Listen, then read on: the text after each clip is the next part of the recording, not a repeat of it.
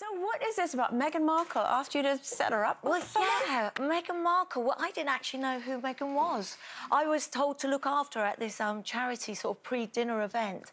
And they said, will you look after this girl from, you know, she's from Vancouver, does a bit of acting. I said, who is she? I don't, I'm left with someone I Oh, don't oh, yeah, know. she was in Suits, wasn't She was she? in Suits. I want to be with my friends that I know. And they said, just sit with her. And do you know what? We got on like a house on fire. She didn't stop talking, loves a drink, loves a gossip, and wanted to find a man. Wow. So I was flicking How through long my ago phone. was that? Well, it was a couple of years before she met Harry. In fact, I did one of the last interviews with her.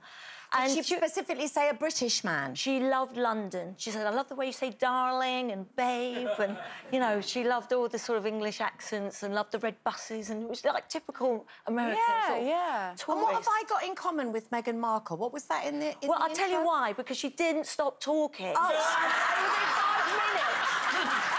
I knew where I was. I thought you were going to say the beauty, the elegance. No, sorry, sorry, Denise, she did not stop. A bit like yourself. I just saw her backstage and I already knew everything that had happened the last two weeks. I was like, OK, absolute rubbish. Yeah, but she did, she liked to chat. And but she was good company, we got on. But since the contact stopped after Harry, I'm She's afraid... very busy at the moment. Very busy. Me and Yeah. Piers Morgan got the old... So that's the way Hey, it goes. speaking of Piers Morgan, Yes? what were you doing? Rifle around his bathroom? No, that was Pierce Brosnan. Slightly different. I don't think that's Slightly No, I know which one I'd rather rummage around. I was going say, they haven't got much in common. Well, they're both quite hairy, actually. Piers is probably the hairiest man I've ever met. Pierce Bec- Brosnan? Yeah, Pierce Brosnan. Oh, that's all right. So I was on the James Bond film, and um, I was asked to squeeze him to death, try to, with my legs as a body double. I thought, what a part. Oh, wow. Of course, I'll try are and you do that. body double for? Well, it, it was um, one of the other actresses. I can't remember her name. Judi Long Russian name. No, not Judy. She's in trouble. Wait until after the show. No, it wasn't Judy. It wasn't Judy, Denise. It So was one of the one of the girls? famous Russian actresses who I can't remember the name of. I'm very sorry.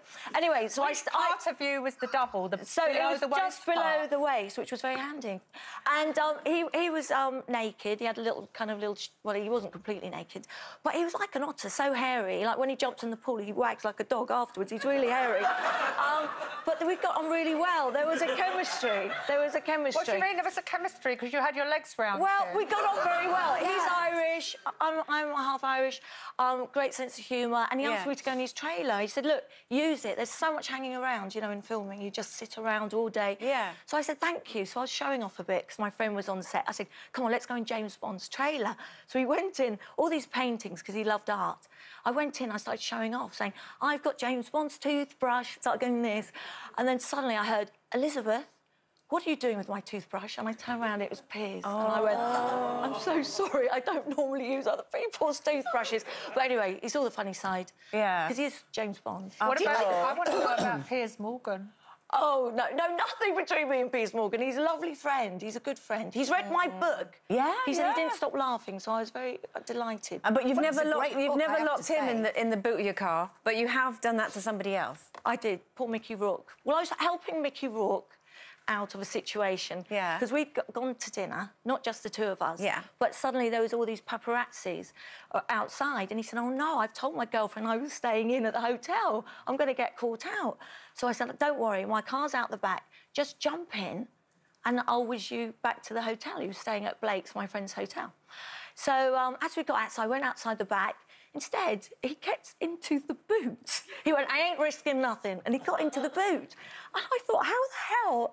So I just thought, I saw the paps running around the back. So I just jumped in, put my foot down, went a little bit too fast round the bend. Suddenly I see a police car behind me. So I'm like, oh no, please, Lord. I say quick prayer, thinking, "Oh, I'm fine. They said, have you had a drink? I said, no, I haven't. I said, but I am in a I do have hurry. Mickey. I didn't say I had Mickey Rourke in the boot, but they said we've got to wait. I, you know, I've got to wait for you know his fellow officer to come. We, we need to just test that you haven't had a drink. And I said I really haven't. And so there was such a long wait, and I kept going near the boot, going, "Don't worry, we're." Really... And they were like, "What are you doing? Come away from the car. What are you, who are you talking to?" I was thinking, I think they thought I was mad. Listen, because you've written lots of stories, it is a great fun read, I have to It say. is. My dad, Vin, is in love with with, with Lizzie. I mean, she flirts with him and she's lov- lovely. We're lovely with him in the. So obviously he's got the book and, and the, the stories are great. But has anybody come back to you? Because you're quite honest about lots of your Yeah. celebrity encounters. Yes. Particularly Danny Cipriani reigniting your fire after your divorce and stuff. Well, yeah, um, Danny. I mean, I've never spoke about this, and the only reason I did actually, the papers got wind of it. But after my marriage, I was in a really bad place. Um, my, my you know, it was I was been together for 20 years, and I was in a really bad, dark place. I couldn't lift my head off the pillow, and then you know, you get a call from a young 21-year-old rugby star who shows an interest, and it kind of put a bit of a Smile what should we say? face. Yeah, smile Spring back on my face. Yeah, it was a spring back in my step. And Have you upset anybody yet? Has anyone come to you and said they're upset? Well, no, let me just tell you, there were a few saying, please, Lizzie, don't put me in this book, please. But there were others saying, yeah, put me in. Yeah. But there were others saying, I'll pay you not to put me in. And did But you listen to them I did. in there? Look, I, I, I did, obviously. There was, Yeah. I've got very good friends, and, you know, I've been friends with Simon Cowell for 20 years. Yeah. And I, you know, I, I, I was kind about everyone, but they were the funny tales. I, I wanted to make people laugh. I did Shirley Valentine's show at ITV, Mm. and after that show, people were saying, "Gosh, we just see you on the red carpet doing these silly poses like a teapot. What are you really about?" And I think Yeah. after that show, people could see there was more to me, and I thought, you know, I had to reinvent Can myself. Can we return to Mickey Rourke in the car boot? Yeah. because um, I've had experience of being in a car boot. when I was yes, I was cheating on my third husband, and um, I met my boyfriend at the time in a bar. And uh, my husband was already there. To my great shock, I ran out and I couldn't think where to do, so I got in the car boot. Just like Mickey Rourke, but he wasn't in my car boot. Just as, I got driven Janet! around Notting Hill Gate. Janet, what's, what's it like? Because I never got to ask Mickey. 'cause- It's very claustrophobic. so how long was poor Mickey in your car boot Mickey for? was there for a good 40 minutes. 40 but minutes? thankfully, he'd had a few drinks and fallen asleep. And when I opened the boot, he just got out, jumped out. He went, hey, good night, have a good night. And I thought, well, there you go, that's why you're Hollywood, because he didn't even ask me. He just got out of the boot.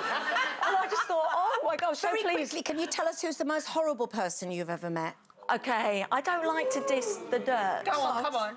Bruce Willis. Oh!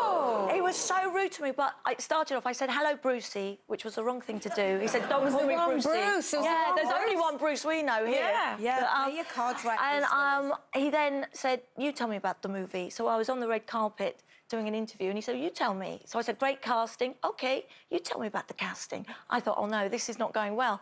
And when I'm nervous or, you know, worried, I start to laugh, which wasn't good. So I oh. started to giggle, and he wasn't happy. But they filmed it all, and then now it's used in the blooper shows because it is hilarious. But oh, you've got Tom Cruise, who was amazing and says hello to everyone in the pouring rain. He's very tiny, Yeah. isn't he? Well, I wouldn't say that. How do you know? All There's another book. If, if I met Tom Cruise, I'd be looking down several feet. No, Tom Cruise was lovely. Now, you see, I interviewed Tom Cruise, and I don't know if a lot of you know that when they have their premieres, they dart out the exit door. They don't bother to actually Watch watch, the- the, I've movie. seen it a million times, And I yeah. did the same thing because I didn't really want to watch it, and my son was hungry. So we darted off to a restaurant, and then suddenly my son said, Mum, there's a guy waving at you. He looks the image of Tom Cruise. so I said, Really? I didn't have my glasses on. I said, Really? Right, I'm just going to. You, you save the table. And as I walk along, it is Tom Cruise. But I totally forgot I left my son outside holding the table while I stayed and had dinner with him.